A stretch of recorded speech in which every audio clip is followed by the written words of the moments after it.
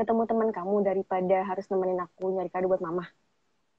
Enggak gitu, maksudnya biar kita biar apa ya? Tuh kan, bingung nih kalau udah kayak gini nih bingung. Aku capek. Nah, Oh.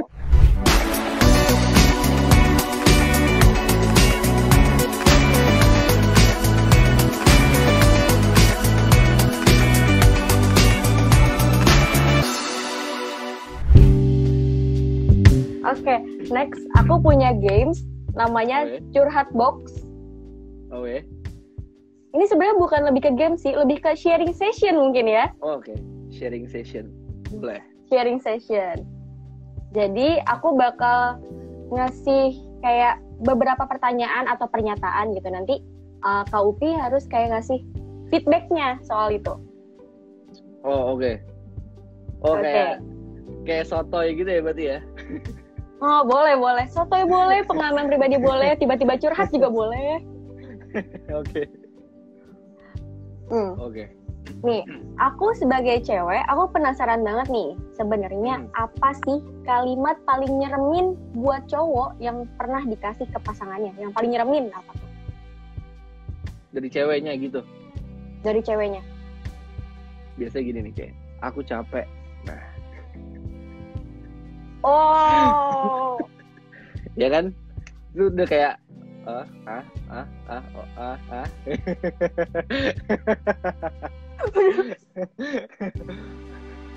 Biasanya aku capek sama kadang ini nih kayak, terserah. Bener. Aku capek. Aku aja cewek kayak- bingung. sama kadang ini nih kayak nggak aku nggak apa-apa kayak gitu.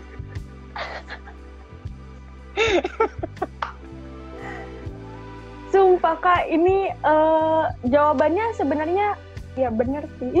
bener kan kayak pasti kan aku nggak apa-apa oh ya udah terus kalau bilang oh ya udah ah terus nggak nanya gitu kenapa tadi katanya nggak apa-apa tapi ya udah ah ah aku pusing ah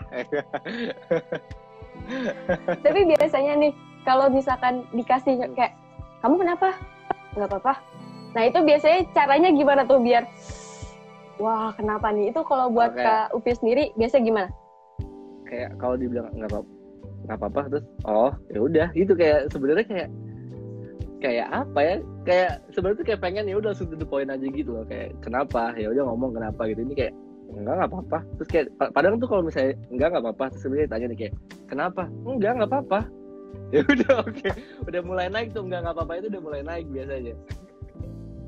Udah naik 2 oktav, 3 oktav, lama-lama sampai Iya, 8 oktav. Wow, Nah, iya. Oke. Hmm, next, curhat box selanjutnya. Cowok tuh sebenarnya paling seneng kalau dikasih kalimat apa sih dari pasangannya? eh apa ya kalau dikasih kalimat eh Kayak udah banyak nih di otak nih, tapi yang dikeluarin harus satu. paling seneng apa ya? Eh, apa ya? Kayaknya paling kalau ditanyain kayak ditanyain gitu sih sebenarnya. Kayak misalnya kayak hari ini hari ini gimana aja? Lebih kayak gitu sih. Kayak Oh, jadi kayak pacara pengen tahu nih soal hari kakak gimana gitu ya. Iya kayak hari ini ngapain aja gitu sih paling Hmm. ada yang bilang kartu ATM kamu mana Tadi ada juga yang bilang nih aku transfer 10 juta. oh gitu ya Tadi katanya gitu. "Eh, ini aku transfer 10 juta. Kalau aku yang digituin, nolnya kurang satu yang oh gitu nah. Oke, selanjutnya. Hmm, sebenarnya orang tuh lebih seneng dikasih perhatian lebih, perlakuan spesial, gift, kado berupa barang atau kata-kata sih. sebenarnya eh, kayaknya mungkin lebih ke kayak ketemu gitu sih bukan kayak dari gift atau apa mungkin dan ketemu saling komunikasi lebih kayak gitu sih mungkin kalau aku ya kalau aku Oke. lebih lebih milih komunikasi gitu ya. Tapi aku penasaran Iya. nih, Kak Upi, kalau Ah. misalkan sama pasangannya, itu minimal nggak dikabarin berapa hari nih, sampai deg-degan parah. nggak pernah sih eh apa ya nggak nggak pernah yang kayak nggak pernah yang nggak kayak kabar-kabar berhari-hari gitu sih pernah sih mungkin kayak sekitar dua hari kali dua hari gitu Berarti tipe yang emang harus dapat kabar lah, seenggaknya gitu ya? iya wala- walaupun maksudnya ya sesibuk apa pun ya ya maksudnya tahu aja gitu kayak oke yang penting kayak tahu aja gitu lah lagi ah, keadaannya seperti apa sekarang gitu yang Tapi bukan yang komunikasi Hmm? Yang tapi bukan yang kalau misalkan pacarnya nggak nggak ngebales chat 5 menit langsung dibombardir enggak kan? Oh enggak dong. Aku apa ya nggak nggak nggak yang nggak yang kayak gitu juga sih sebenarnya sebenarnya nggak yang harus gimana gimana gitu. Pokoknya intinya kalau mau sibuk apa pun kayak ya udah kasih tahu gitu loh. misalnya lagi sibuk apa oke ya udah bakal yang penting kan tahu gitu loh lagi ngapain dan Oke. gimana gitu Seenggaknya tahu lah ya. nah betul Oke. Oh, ini ada. Kalau ini pertanyaan pilihan. Jadi bukan pilihan ganda ya, cuma satu doang. bukan kan? pilihan oke Nggak suka dipilih-pilih tuh nggak suka. Hmm. Lebih pilih pergi Hmm. non lebih nongkrong bareng sahabat yang udah nggak ketemu 10 tahun atau nemenin pacar cari kado ulang tahun buat ibunya. ah ya eh, temenin temenin temenin nyari kado sih Nemenin nyari kado. Iya, kalau aku tuh kalau bisa dua-duanya kenapa nggak gitu? Jadi aku temenin dulu nyari kado, aku antar pulang terus baru nongkrong ya kan? Nah, kalau gini aku ganti nih pertanyaannya. Jadi kan biar bisa dapat dua-duanya, maksudnya kayak biar dua-duanya berjalan dengan lancar. Jadi kalau misalkan nganterin nyari kado buat ultah, itu kan kalau cewek kan pilih nggak mungkin 5-10 menit dong, bener nggak? Iya, pasti kan kayak. Tapi dari awal aku bilang kayak "Ah, hari ini aku mau nongkrong bareng temen nih, udah lama gak ketemu, jadi cepet ya gitu. Jadi aku aku pura-pura jadi ceweknya nih. Nanti aku Hmm. belum selesai milih, jadi aku masih mikir Hmm. antara aku beli sepatu atau beli tas ya gitu kan. Terus Hmm. eh Kak Upi udah, aduh mampus temen gue udah mau cabut lagi nih, flightnya udah mau lewat mungkin atau gimana gitu kan. Ah, ah, Jadi kamu lebih milih ketemu teman kamu daripada harus nemenin aku nyari kado buat mama. nggak gitu maksudnya biar kita biar apa ya tuh kan bingung nih kalau udah kayak gini nih bingung.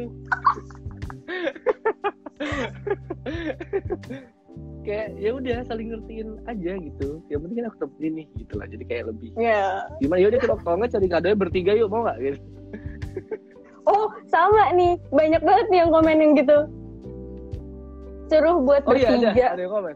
Tuh kan sepemikiran kita Tapi kalau misalkan cewek nanti pas bertiga, terus kakak sama teman kakak ngobrol terus kan, terus nanti kamu nih temenin Iya, aku nggak sih? iya kayak ini cuekin nih terus diam kan sampai rumah diam aja oke Ya ya udah deh, abis ini nanti eh, ajakin main lagi aja ya, biar seneng lagi iya pacarnya. benar Oke. Nah ini condition terakhir nih buat sesi curhat box. Kalau jenuh, lebih Boleh. baik pergi atau tinggal. Eh, sebenarnya kalau itu tuh kalau itu tuh harus dikomunikasiin dulu awalnya sebelum pergi atau tinggal ya maksudnya kayak harus komunikasiin dulu ya gimana nih maksudnya apakah dia juga merasakan hal yang sama kah atau gimana apakah ada ada alternatif lain ada jalan yang lain untuk untuk apa ya untuk menyelesaikan masalah ini atau emang nggak bisa diselesaikan lagi kalau misalnya emang udah nggak bisa diselesaikan lagi ya mau nggak mau mending kayak kayak tadi tuh kayak Naradira maksudnya kayak baik-baik aja gitu loh. Jadi kayak karena kita ketemu juga baik-baik kalau bisa kita udah juga baik-baik gitu jangan yang kayak berantem atau gimana kan. Karena kan emang ya udah gitu karena ketemu baik-baik kita selesai juga baik-baik. Kalaupun misalnya harus eh, harus beda arah intinya gitu akhirnya. Gitu sih. Oke. Berarti kan biasanya kalau jenuh nih itu mengarah ke eh, apa ya kayak rasa cintanya hilang gitu kan. Orang-orang biasa mikirnya gitu kan Hmm. kayak gue udah nggak Hmm. gue udah nggak ada rasa apa lagi apa apa lagi nih buat orang ini gitu kan biasa itu karena Hmm. jenuh pasti awalnya itu gimana tuh tapi sebenarnya apa ya pasti itu tuh karena ada ada ada faktor lain juga gitu sih kalau menurut aku kayak bukan cuman itu mungkin ada ada tingkahnya yang yang dia nggak suka mungkin ada ada apa ya atau dari misalnya lingkungannya dia mungkin yang yang ngebuat ngebuat jadi seperti itu gitu. Karena menurut aku kayak kalau misalnya kayak gitu ya gimana ya bingung juga gitu sih. Kalau kayak bener tapi kayak kayak lagunya siapa tuh ya? Kayak, kayak lagunya Dito tuh. Kayak Dito sama Ayu. Dia kan bilang kayak bosan itu pasti tapi kita tak saling pergi. Jadi kayak pasti pasti ada titik bosan dan titik jenuh gitu intinya tuh kalau misalnya kita bisa ber- mengkomunikasikannya dengan baik ya pasti bisa nggak saling pergi gitu ya kayak gitu Oke. Wow, jawabannya sangat filosofis dan mendalam sekali. Tapi tadi ada yang komen dan aku setuju. Bang, daripada jawab, mendingan cari pacara dulu. Bang, tapi gitu. Kurang ajar banget gak sih? iya nggak sih nggak tahu aja dia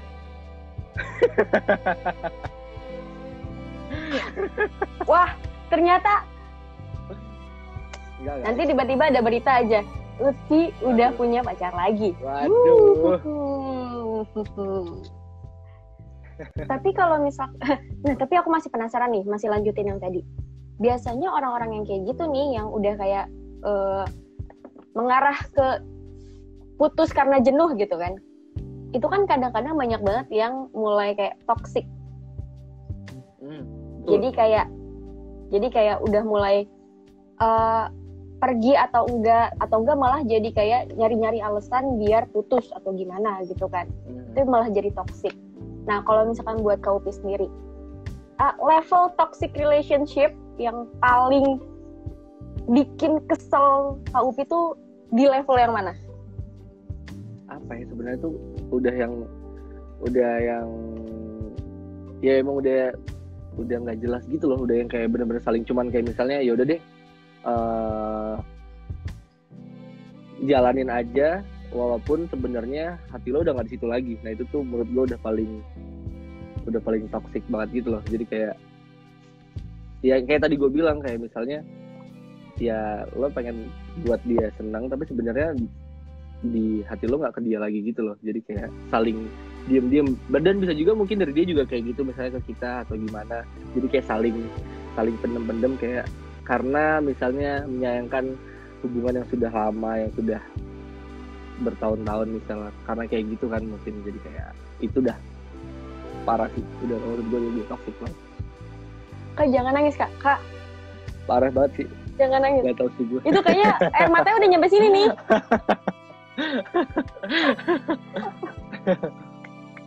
Oke. Terima kasih sudah menonton video ini. Jangan lupa subscribe dan aktifkan lonceng notifikasi supaya kamu nggak ketinggalan video terbaru dari Grid.